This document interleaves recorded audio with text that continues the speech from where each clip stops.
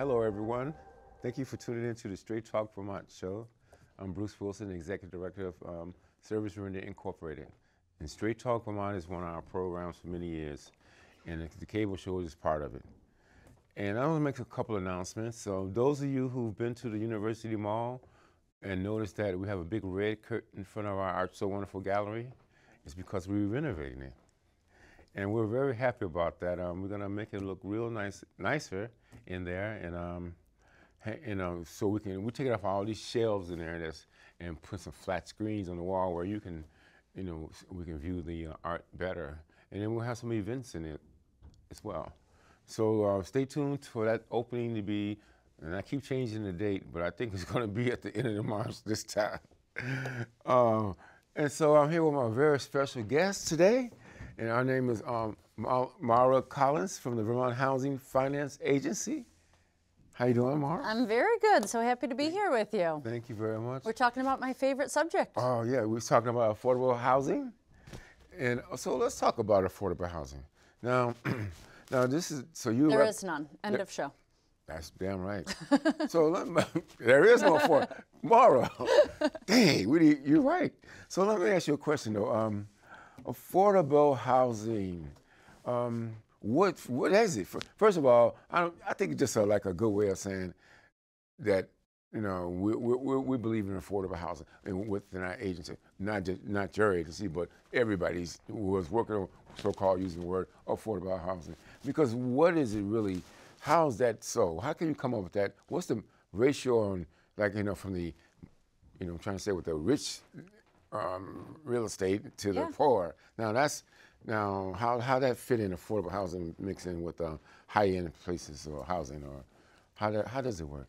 yeah, it um, it's always the first question I'm asked, and it's such a good one because it's so fundamental. We all use the term affordable housing, but what do we mean? And uh, really, I like to throw people off their game to say there is every single house in Vermont is affordable if you're a gazillionaire. You know what I mean? Right. If Bill Gates or Jeff Bezos or whoever were to show up and want to buy something, right. something tells me they would not have any trouble.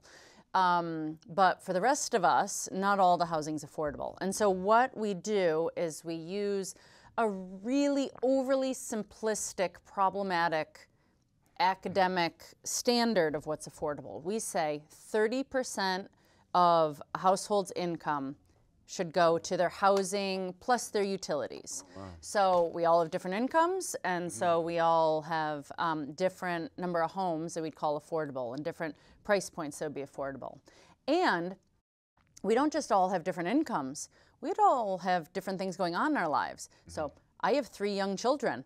I have high childcare costs. That means maybe 30% isn't the right number for me. Right. Maybe I need to spend a little less. Maybe I spend more on transportation or healthcare costs. And so what's affordable to me is going to further be lower and lower number, meaning there's less and less homes that are affordable to me. So we really look at that difference between what uh, folks are earning and what they can afford. That's kind of tricky. It's but really, I mean, it makes sense, you know. Um, 30% is um, I thought I think that's pretty high. Uh, maybe not though. It's interesting. It, the number used to be 20 percent, mm-hmm. and then the feds moved it to 25 percent, and then they moved it to 30 percent. Mm, and of, of your, you know why? income. Right? yeah, and it's because they didn't want to pay so much in rental assistance. Oh, that program, the Section 8 program at the time, was getting too expensive, mm-hmm. and at the time, uh, renters had to pay 20 percent of their income toward their rent, and the federal government, HUD, paid the rest in their Section 8 program. And then that cost too much. So they said, you can afford to pay 25%. And that went on for a while. And it, has been many, many, many decades since it got shifted to 30%. percent mm hmm um, but like I said, it's not the right number for everyone. And so what we do is we look at, all right, how much are people earning? What's the median income? If we sorted all incomes in order and picked the middle point, you know, how much could they afford and how many homes are renting at that price point or on the market to be purchased at that price point. And right now, there are not very yeah, many. Yeah. So we're talking about affordable housing. Um, so um, then once again, I got to talk about that a little bit more because Um, when you when you when you uh, go over people's income, right? That's what you do. You go over income, and so okay, here's thirty percent of your income based on all these other things you have to do to um, to live, your systemic stuff you need. Um, so, but there is a point where is that your your um, rate of pay don't go up, and but the housing go up. Everything goes up, but your thirty percent. I mean, how much? You know, I mean, your your rate of pay. So how how you know, so how can you afford any any place? You know, Yes. seem like it. You know, because there is no place like that. Seem like it, uh, but it probably is. I don't know. Yeah. And that is what we've seen, especially in Chittenden County, where I don't have the numbers in front of me, but from the 80s, we've looked at, you know, how much pay has gone up on average every year. And um, Uh, gosh, I think the number is like two and a half percent a year. And then rental prices have gone up four percent, and homeownership prices have gone up five percent. You know, and I, I don't have those numbers exactly Sure. right, but I do know that the housing costs are going up far bigger. And so if you were to graph it out, it's like the yawning jaws of an alligator. You know, the, the difference between incomes and house prices are getting farther and farther apart from each other. And so if you're renting, housing is becoming less and less affordable every year. And your rent may go up some year and you can't afford it anymore. And you need to move. And where are you going to go to with the vacancy rate being what it is? There's not a lot of apartments out there homeowners have it a little easier in that if they get a fixed rate mortgage, then their home prices largely, their, their mortgage stays the same for 30 years. Now, their taxes go up, their utilities may go up, other things may change, but that is one reason why a lot of people decide, you know what, I need to hop off the roller coaster that is the rental housing market and try to move on to being a homeowner. Yeah, that's very important to be a homeowner. You know, I think, well, a lot of people, well, it's important based on all the things you just said, but I think also a lot of people just don't want to be, some people just don't want to be a homeowner. Yeah. Owner. So they, that's their choice, you know. So with the Vermont Housing Finance Agency, you are the executive director. How many um, are you, is, it statewide? It is statewide. We were in the early 70s um, and late 60s. There was um, a new uh, investment opportunity that the federal government came up with, and they said every state can. Um, can use these tax exempt bonds and finance affordable housing with them. But the state of Vermont and every other state in the nation needed to pick an agency to administer that program. And so in 1974, the legislature created us. And so we are we were created by statute and the governor appoints our board and the board then hires me and I hire the rest of the staff. Mm-hmm. Um, but otherwise, we really don't have a lot of connection to state government. We aren't state employees. We don't get state appropriations every year. We aren't reliant on the state budget or anything like that. We operate completely separately, and all the risk of our investments are on our own. We're not. Um, we're not under the ratings of the state um, fully. We instead uh, sell these tax exempt bonds and we live off that, those investment earnings as a way of supporting our work, large part.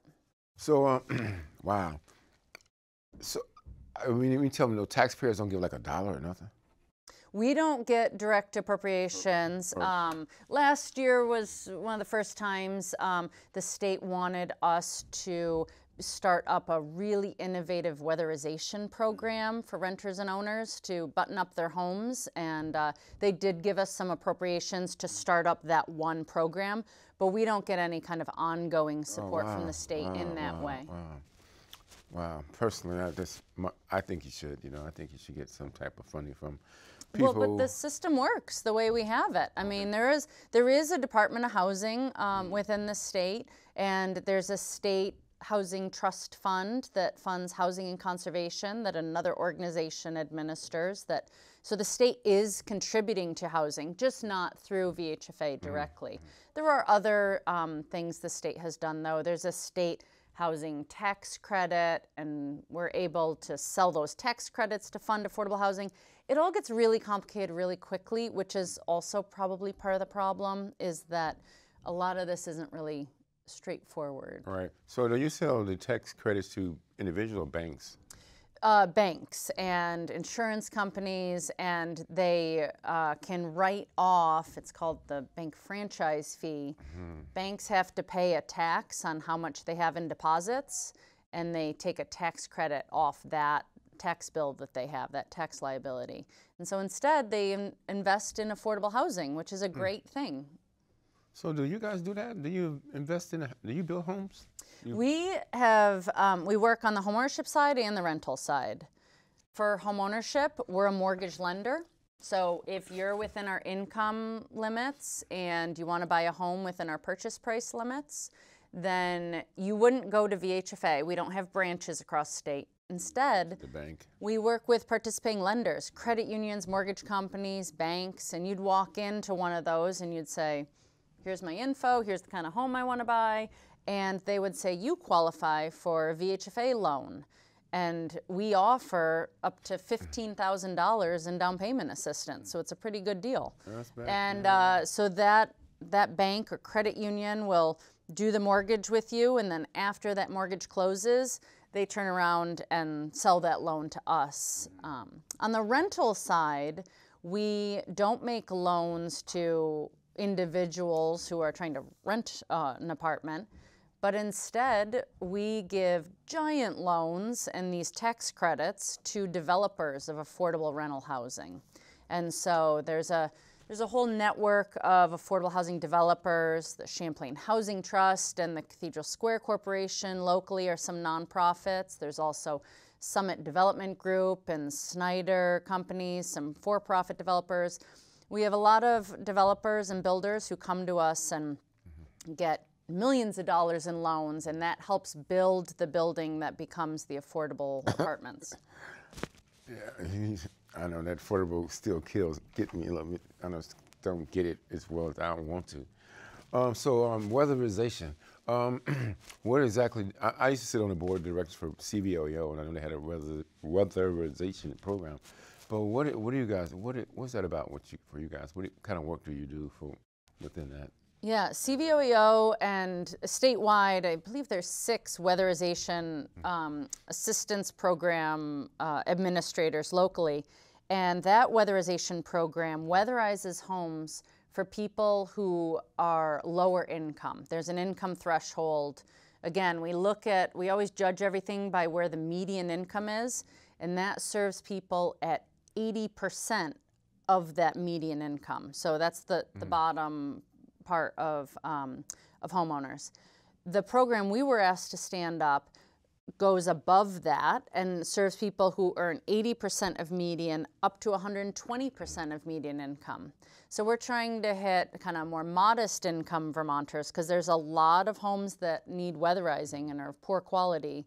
Uh, and folks are not, they don't earn the kind of money that they can just go get a loan or pay for it on their own. They still need some help but they um, don't need it all paid for for free through the weatherization assistance program. So we're working with Efficiency Vermont, and they are providing grant money to help pay for, let's say, half the cost of the project.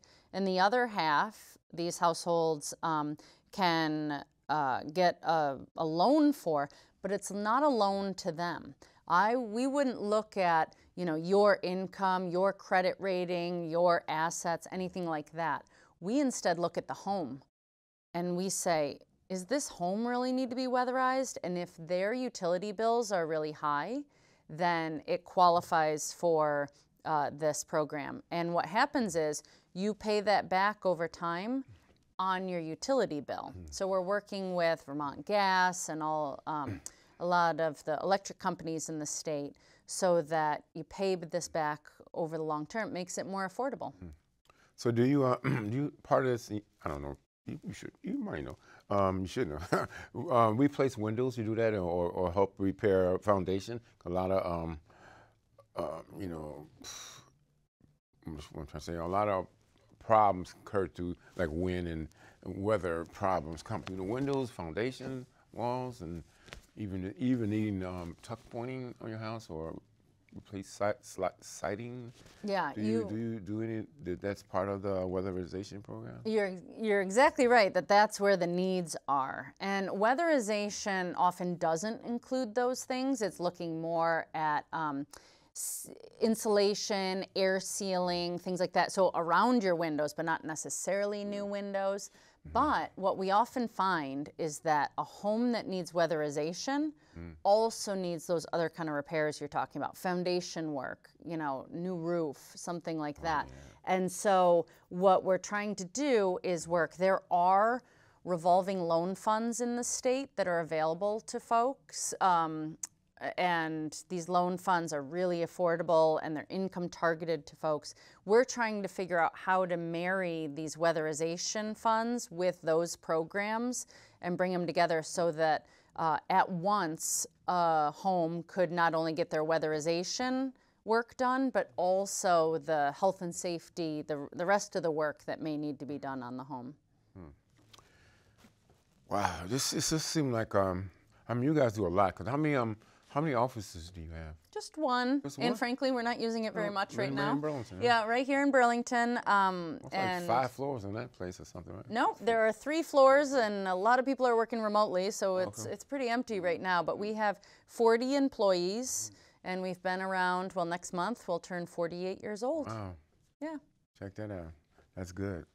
Um, so, so um, I know you guys do a lot of a lot of things, and you partner with a lot of organizations. Like, who do you partner? with? Do you partner with? Who do you partner with? Other, so um, I guess more of agencies that do similar work, or ones that um, that do just different types of work that can that need your service, like um, like um, community action or things, uh, please people like that, or do you you partner with you partner with community actions and um, I can't think of some of the names when that comes to my head, but um, who you, Well, it's easy because my answer is we'll partner with anyone. We are agnostic. We, we want to, housing impacts everything. It impacts where our jobs are and how uh, economically vibrant the state is. It impacts our healthcare outcomes. It impacts uh, the wear and tear on our roads and bridges and our school systems. There's always a link back to housing. So um, we partner with our congressional delegation and federal partners like HUD and rural development, because that's where the money's coming from, frankly. So we're always going to want to partner with them. doubt. And we have just such support from all those federal mm. partners. We partner with other statewide agencies that either have money or set policy around housing. So there's a the governor has a Department of Housing and Community Development we work a lot with. There's a agency very similar to us, but they do slightly different things that has a mission of both housing and conservation, the Vermont Housing Conservation Board and we partner with them a lot. There's a state housing authority that runs the Section 8 program. We partner with them a lot because we may uh, help fund to build the building that's affordable, but then sometimes folks still need that Section 8 voucher to make it affordable. And then there's all the municipalities that we work with. There's a lot of housing commissions. We, we get really involved in helping um, to guide what planning and zoning should be. Because we may say we need more housing, but if the local community hasn't set up their community to be housing ready, then all the money in the world isn't going to fix it. But then there's the community organizations, like you were talking about. You could focus on lots of um, uh, demographics or situations that there's whole partners we work with. So we do a lot of work to prioritize our money. Um, so at the apartments we finance are targeted to people experiencing homelessness. So we do work with all the community action agencies and the homeless shelters and service agencies and designate agencies who are serving people without homes. We also work a lot with manufactured home communities. People call them, you know, mobile home parks. And uh, so we, um, 8% of the state's housing are manufactured homes. And so it's important that we know what's happening there, both individual um, developments, what's happening, and sort of broader statewide policy. So, um, I mean, so let's talk. I, you know, I just want to hear your opinion. You know, um, so I live in Winooski. I have a lot of opinions, so we're going to be here a while. Daggone right. I'm with the right person too. So I live in Winooski, right? Yep. Uh, and so, um, and um, they're doing a lot of things right there. It's a lot of incredible things. I work with um, the mayor, Mayor Kristine, um, a lot, and others. I uh, also am on the school board um, uh, for anti-racism committee. I'm the Winooski um, Democratic chairman. Um, I just been appointed by the governor Shumlin to be uh, the uh, human rights commissioner, one of one of them. That. Um, and so um, it's, I'm sure some other things I do, but uh, I gotta look at my own damn resume. um, so, anyways, but there's an issue that's been around there that um, a, a, a, person um, who owned this property, 300 Main Street, has e- got eviction notices going out to, I think it's 24 families on, um, you gotta go. Because he wanna make it, he wanna make more money, that's all, basically what he's saying, because he just wanna make it more luxurious and charge more money, that's what he says. So I guess that means you wanna make more money. So now, here it is, families, um, not individuals, families, you know what I mean? And then they all targeted our new Americans, you know, so, oh, so are you guys, a- I know um, the mayor and the Winooski Housing Authority and uh, others are working tireless to try to figure out what the hell they're going to do. But for me, a lot of them is going to be those families and youth are going to be displaced.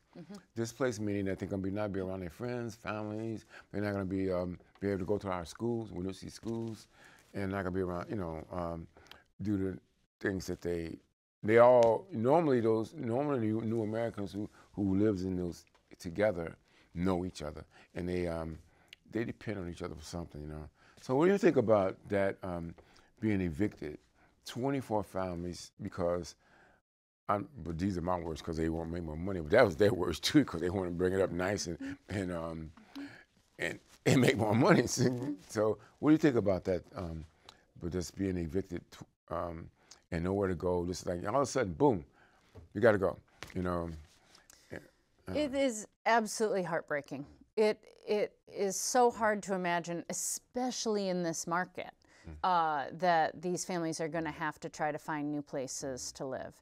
And you know, we've been financing rental buildings for 40 some odd years, and I can tell you that after 25, 30 years, it's not unusual that buildings need a big renovation. I mean, housing, um, especially rental housing, it gets banged up. You know, you get people moving in and out every couple of years. And so it is very fair that we need to, I would call it recapitalize, put more money into housing.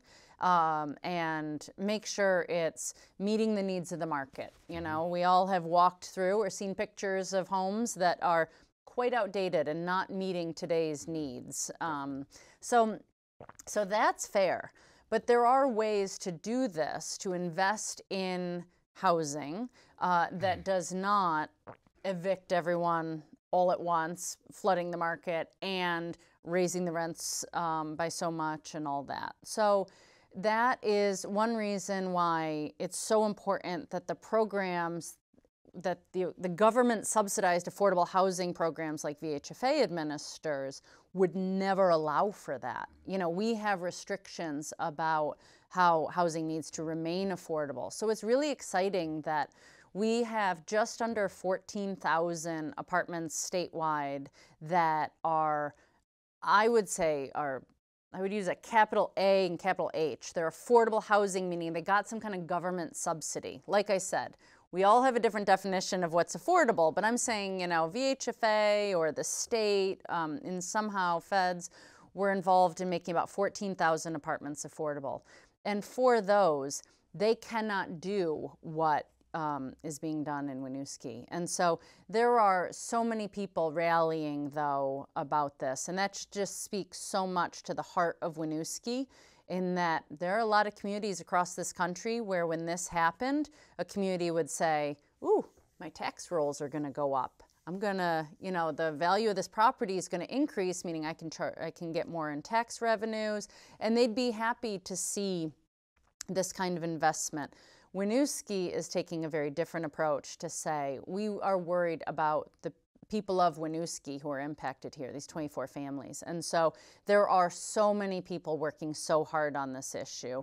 Uh, housing Authority and the local housing providers, and I know that the um, refugee resettlement uh, agencies gotten involved, and and it, the the little bit of silver lining is that um, there are a lot of people who are working very hard to try to help this situation. Yeah, it's kind of weird because um, they got that. Um, I think a lot of tenants have, um, you know, they can raise your rent and evict, evict you like when they feel like it.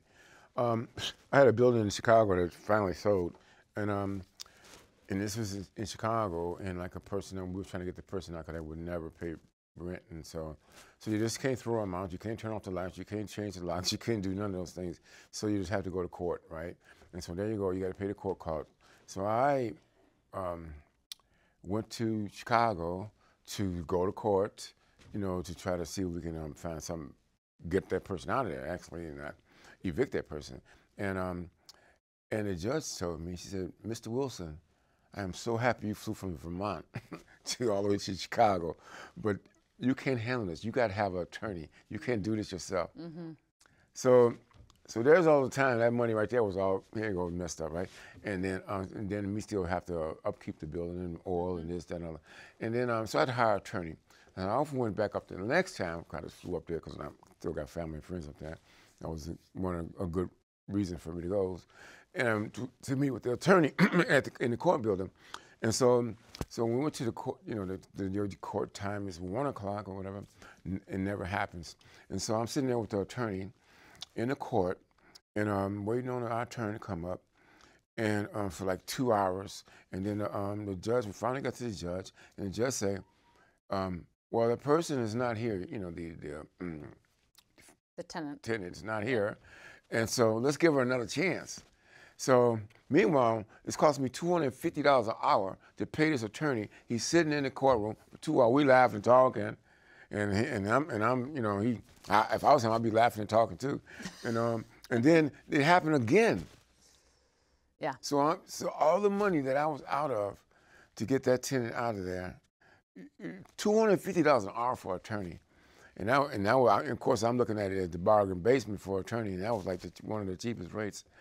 And had to pay this rate while sitting there with this guy, and I'm flying in Chicago from Vermont, and I'm like, wow, tennis rights, they really have some tennis rights here. Mm-hmm. And so here, these people don't get nothing. you got to go. That's it. Yeah. Yeah, every every state is different, uh, and Vermont does have fairly robust landlord-tenant um, laws that that protect tenants. Uh, but situations like this yeah, are beautiful. possible. And like I said, it is heartbreaking. Mm. There's a lot of resources to explain to tenants what their rights are through CVOEO. They run a statewide landlord tenant program um, and called Vermont Tenants, and they have uh, explanations of what landlords' rights are and tenants' rights. They've even put it in like a graphic novel format. They've translated it into lots of different languages. So trying to get that information out to people to know what's mm. possible. But at the end of the day, this is still possible. I know it's like it's incredible. I, I never think they can do that, but obviously they can't here in Vermont. Um, so um, it's kind of weird how things happen, you know. Like um, in Chicago, where I was born and raised, um, like Maya was part of the civil rights movement with the SCLC, Operation Bread Basket, Operation Push, National, you know, Endowment ACP, you know, all these people that I work with. I worked with uh, Jesse Jackson and his wife Jackie's come to my house in, in Marathon, Washington, because my mother was like big shot in the, in the movie and, and things she did in the, in the world. And, um, and so I always fought for civil rights. I always fought for equity and inclusion and the diversity and justice. Mm-hmm. So that's like been all my life, mm-hmm. you know. And when I came to Vermont, when '89 was the whitest state in America, I think it might be the second or something, um, which is all right. Obviously, um, I came in '89, so you know, I honestly I got nothing against some white people because I would be here this long. But anyways, um, so I told my mother I was coming to Vermont, and she said, good, good, because I was come up there when I was a young person.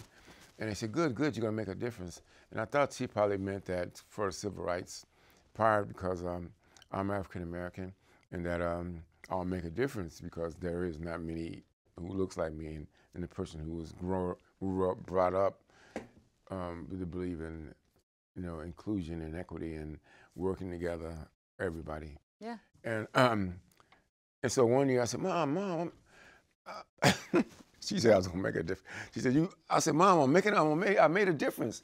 She said, What you do, boy, what you do? And I said, Vermont is the second whitest state now in America. and she said, she said, you know, it was funny. She said, "Boy, I told you it was going to make a difference." There you go. I know. Single-handedly doubled the rate of uh, your community or your neighborhood. Maybe. I know. I like. I'd be somewhere friend. I'm like, damn, look at what they think is five 5 black people in the same room at the same time. But anyway, so, but since Floyd and um, Black Lives Matter and police differences with people of color, um, people around the world thought they should hire people who can um, work in the areas of um, justice, equity, diversity, and inclusion, and um, all these, and everybody, every company just about have hired these people to work on these issues. Um, and so, um, a couple things. Um, so, what do you? So, how do you? How do you think that that's going to make a difference? Because like a lot of a lot of people. Um, for instance, I, I'm listening to example. Use myself as an example. I, um, I'm part of the Vermont State Police Fair and Impartial Policing, um, and that's for everybody, for impartial policing, and I work with the community part too, and and they got it all in their website and everything like that. Like for instance, Burlington, they, they're not Vermont State Police, but they're Burlington Police. We was talking about data collection from people who stopped, right? And um, and in that time it was 0.1 percent of African Americans live in the state. But Burlington had the nerves to stop 85% of people who look like me in the state. 85%, man. And then we're only 0.1. How, how's that? And they got this fair partial policing. They don't think it's, they don't have to think it had nothing to do with um, um, like racism. They don't think it had nothing to, that's not, that have nothing to do with it. We come, quite frankly, that have a lot to do with it, right? And so when you talk about fair and partial uh, when you're talking about um, equity and inclusion, like no more in the back rooms, no more of a, um, let's work together, let's make sure we bring people who look like Bruce or BIPOC in the back rooms, or not in the back room, just bring, get rid of the back room, just bring them to may help make this, what they, or ask them, what do you think about this, Bruce? Right. You know, just give me, just give me an idea what you think, think about it, you know? Yeah. And um, so I, do you think that um, people are just like hiring all these positions just because they say they got them, or you know, or things gonna change? Uh, it depends on the day and my mood about if I think this is a wonderful investment, long overdue, and really impressive because, uh, you know, we, we've followed suit. We've done that in the last couple years. And in doing so, um, the idea was we didn't just want to make commitments that said we're going to do X, Y, and Z and not put our money where our mouth was. It was important that I pay a good amount of money to people to say this is your job. This is, you know, what you will be held accountable to and their job is to hold the rest of the agency accountable to these commitments. And if we don't have a internal accountability like that, then we're never going to meet those commitments that we put down on paper and set a press release about. So, um, so I do think it's an important step. I also think that the proof is in the pudding. Uh, and I think that um, this has been over 400 years in the making, and it's not going to change in two years. And the it seems to be moving very slowly. Um, and in the internal work I've done, I keep reading don't try to move too fast that it's performative or it's not real or that you haven't brought people along and engaged with people directly served. So, um, in many ways, it is this constant push pull of we don't want to do too much without making sure we have that feedback loop of people who are directly impacted by these programs and these initiatives. We want to make sure we're hearing their voices directly and that they have authority and agency in their voice. And that just means a much more deliberative process, a slower process, because we have to revolutionize what we've been doing. I mean, the title of my agency is Vermont Housing Finance Agency. And housing and finance were two key tools that we used in this nation to systemically keep people who look like you away from communities that looked a lot more like me. And so it is hard, deep work that starts with the people doing the work and changing their own hearts and minds, looking at the policies, the programs, the practices, shifting the money, seeding power. I mean, this is a revolution. And so it's, um, you, you're never going to have a revolution by hiring a DEI director, uh, just, but you're not going to have a revolution without doing some of those things either. Well, well, first and foremost, too, is that um, you know, it's I know how I know how to get people to understand more, people who don't look like me, about persons who do look like me, and how to. Um, so that's the whole thing about it. It's education and understanding, and and um, it's not about you know you need to bring Bruce up to the front table, you, you know, because bringing me to but what you need to do is like um, like you say, hire them, hire people like me, and get, get their ideas about what, well, how you think we should move forward on these issues, based on for all, for everybody, right?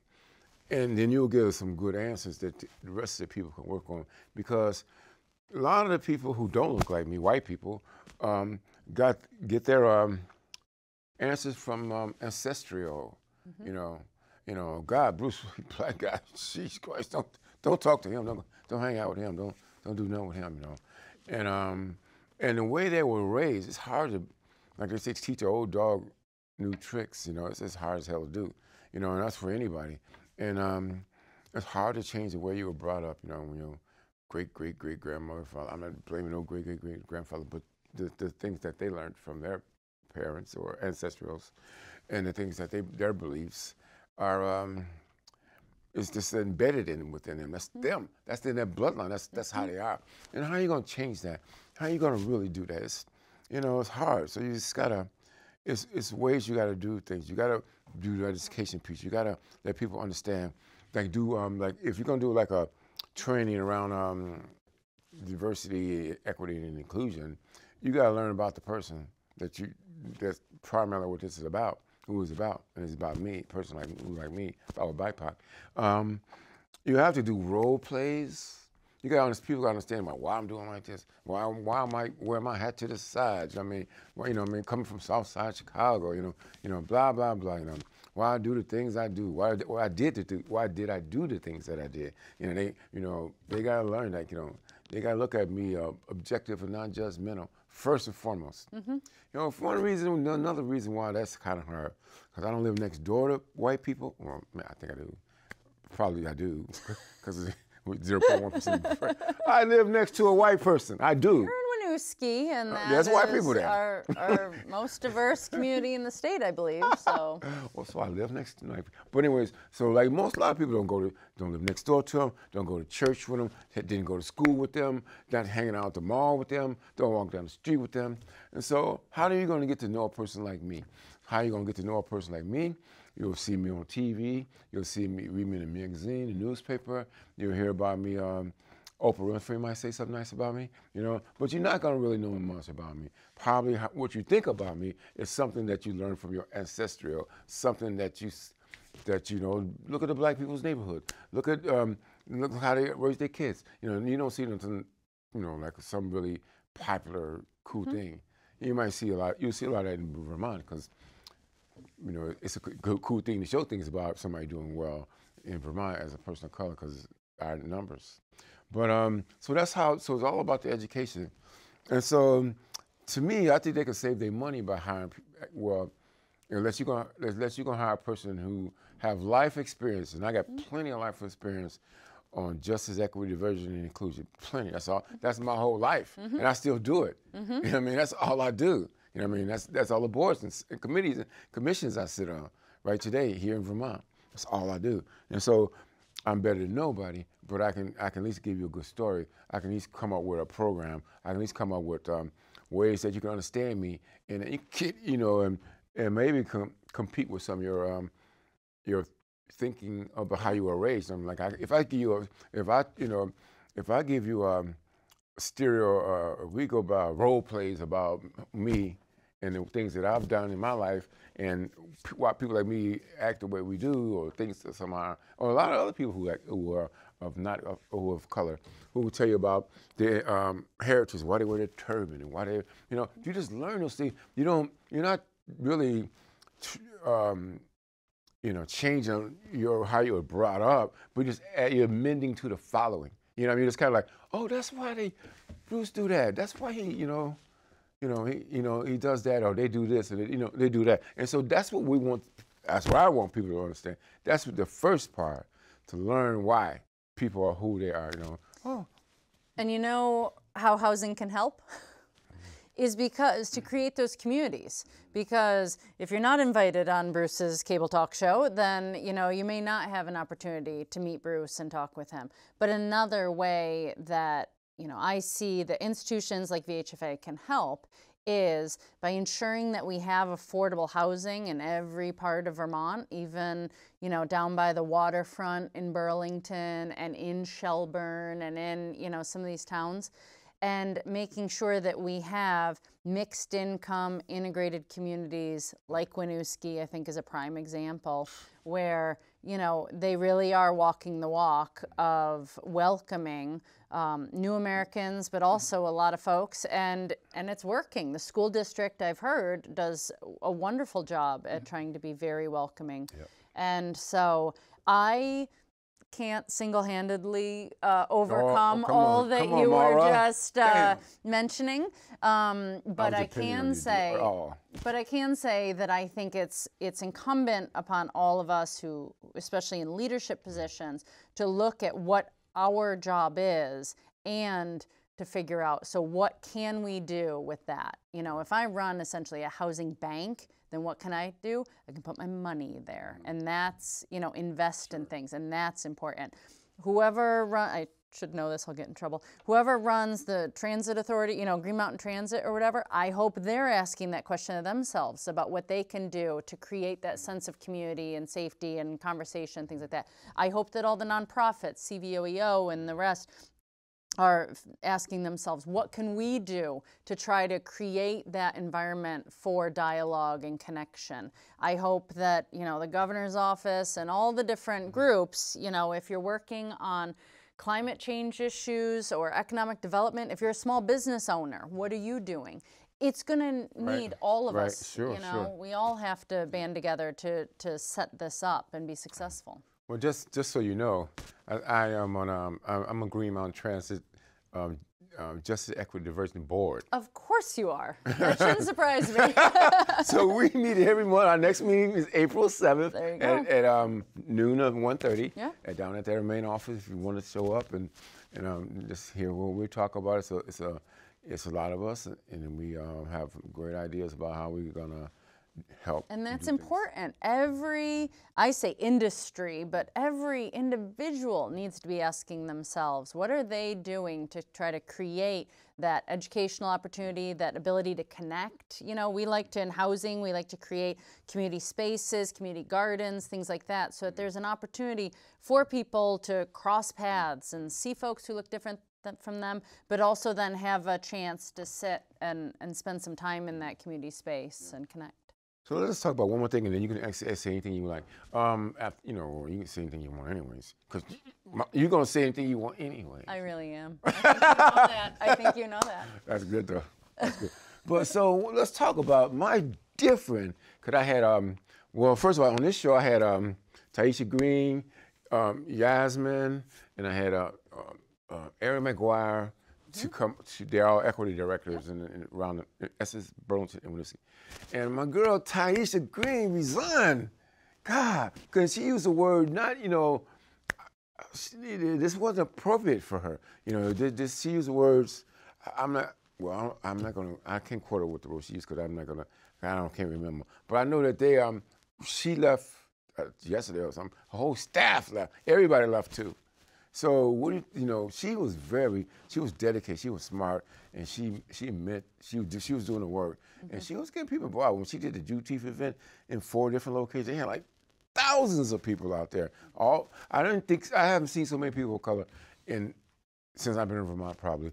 I've and heard I- that from others. Yeah, And was very powerful. She's very powerful, and and people who are non non people of color, which is incredible, who believed in just whatever they believed in, how they can make things, how they can help out for themselves. It's not about how I'm going to help Bruce out. No, it was a it was a cross sector. I know bank presidents who were mm-hmm. there. I know a lot of families that were there. It it really was Yeah. very powerful. Yeah, and so it, was, it wasn't about, oh, let's. It was about let's support this event, the meaning of what Juneteenth meant, and also um, what it mean to them.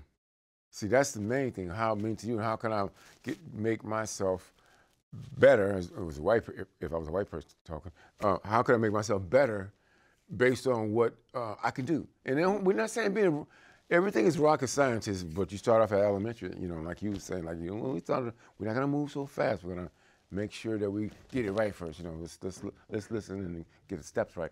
And um and so that's that's all I ask of people to do is believe in what you. What do you want the most from? Um, to get things better with people who look like me. How do you? How can you help? What's your? You know. So you might think, okay, that's elementary, but when you do it, it's rocket science. So that's all. And so they had all those people there. Everybody was there. I mean, I've seen so many people that I knew who knew or who knew me, and I was hanging out with the mayor. He was there, and um, people in performances, and some of the some some little gangsters out there that I knew trying to work with them, get their life. You know, I know I know food. food, right? So the good thing about it is I, I, I was, I was, I'm excited when I get to see all the people I work with. You know, I mean, trying to help them with their goals. You know, and so, um, and just, um, it was a beautiful days, too. God, and I went to the one in um, Essex and um, Winooski. I was part of those in that one, in Burlington too. So, um, so what do you, so what do you think about her? Um, I don't know if you knew what her platform was while she was leaving or any of those things. I just know what I've read in the papers. Yeah. So I haven't talked to her directly. I mean, I messaged her best wishes and she told me what her plans were in Minnesota. But um, I, you know, I don't know the backstory on that. So I'd never want to, you know, speak on her behalf Sure. or anyone else who's doing this. But Now I want to know what you thought really about about, about the person of equity, race. She she said right here, said Bruce, don't call me no diversity. I'm, I'm race. She she'll be like Mm-hmm. straight up with you on that. She ain't playing. Um, but anyways, uh, so I want you to think. What do you think about um, that? She just couldn't get along with. She could- she used the word the mayor's off mayor Miro. So that, they, that she couldn't get along with him, and, and he did some things that, like I know it was something about she should have been involved with. I know this for a fact with the police uh, negotiation or reorganization or something. And then she took him her out the picture and put somebody else in it. And and uh, I, I don't know the whole specifics and I don't know everything about it, but I, you know she thought it was she should have been a part of the negotiation team or part of.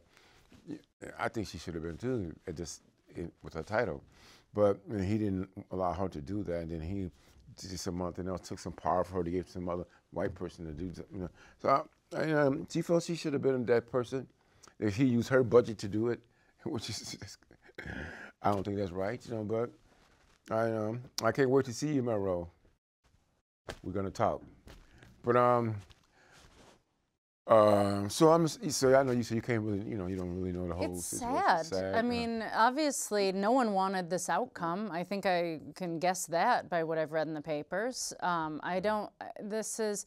It's hard work. It's complicated. I have no idea what's going on behind the scenes. None of these people have me on speed dial, so um, I I just don't know what's happening. Yeah. But it really does hurt the work that's going on when things like this have to happen because um, you know there was such momentum that was happening Right. and it, it did seem so exciting and so it's important that that come back and that everyone learns from whatever happened grows reflects. I mean i'm a big reflective practitioner. I always i'll be driving home Mm-hmm. from this and i'll be thinking about what did we talk about? How Yeah. did i answer? What? And not in a navel gazing kind of way but more in a how can i grow from this? How can i learn? What?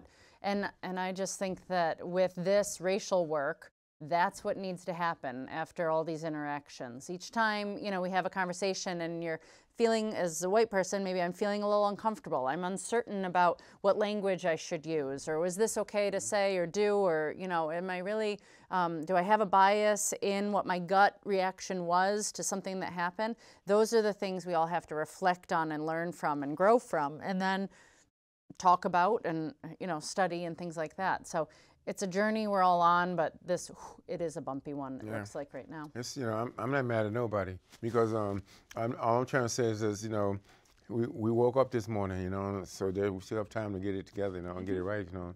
it's all we can do, right? Um, and also too. I want to thank you very much for coming to our fundraiser at the Hotel Vermont. Man, it was so good to see you and Charlie. Great and, event. My husband and I had a great time. you it was it's wonderful. Music and art, and uh, I didn't win anything, but that's okay. that's all right. Um, you know, it was it was a lot of fun. Yeah, so you know, um, Jack Hanson Jazz. That's what we had there. Jack Hanson Jazz. He's a city councilor. Yes. Yeah. It's a small town. he Come play- on, we, we have him play for all our events, you know. Yeah. He be jamming too. He be having a great time, um, and we, we appreciate. We got a lot of events coming up. Like I was saying about April 22nd with the um, CVOEO, the art um, fair housing art show Hmm? at um, Contois Auditorium. So we'll invite you to those things to come and, and you tell your team to show up and it's a free event. It's all free. Everything's gonna be free. Maybe we should. Um, yeah, we'll talk. I think um, Justice is gonna talk to you about having like some resources there, so we can. Uh, 'cause we want the community not just uh, come and enjoy this art and blah blah blah, but here's some resources you should know about as well. So. Yeah, fair housing is so important. I love how Jess Hyman at CVOEO has always promotes so strongly that April is Fair Housing Month because fair housing is one of these issues that does affect all of us. We all, whether you're applying for a loan or you're trying to rent an apartment or something in between, uh, we don't know enough. uh, I don't think people don't know enough about what protections are in place. You know, they say, "Oh, they wouldn't take me because of my Section 8 voucher." It's like that's not legal. You know, they they told me that you know families don't do well here. That's not legal to say. You know, and um, so it's it's important that we all learn more about fair housing. I know that they're always teaching me new things. Well, you know, when you're way home, driving home, you know, you be thinking, what should I, what did I say? What did I, what did I learn? Just know that you, you, you gave all the answers. I don't gave no answers. You gave all the answers. So you, sometimes I had to look at the shows myself and say, what the hell did I say? But I'm- sometimes, like one show I did, I was like, God, I said this event is like five o'clock. And I said, and um, I said, I don't know if it's five or six. I said, but whatever it is, if it's five or six, I'm gonna change it to the time I said. That's a good thing about you know, about being in charge of something. You can you can make it work, you know. But what, what else you got to add before we close out right now? Uh, the last thing I'll say is that VHFA is running um, a big mortgage assistance I think I did. program called the Homeowner Assistance Fund.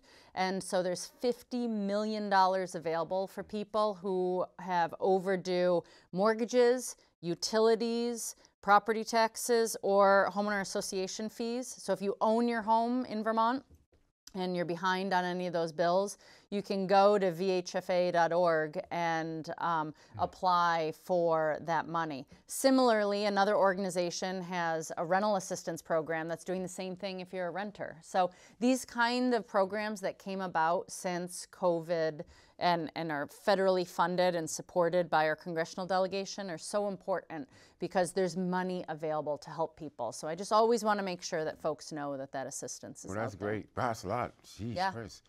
Yeah. We should be on that like nothing. Yeah, yeah. This has been fun. This is Yeah, great, thank you, though. thank you so Maura much for having me on, Bruce. No doubt about it. You know, we we finally got it right. Well, I got it right. See, I, I got one thing right. you got everything else right. It's So I want to thank everybody for tuning in to Straight Talk Vermont show, and then we'll see you next time.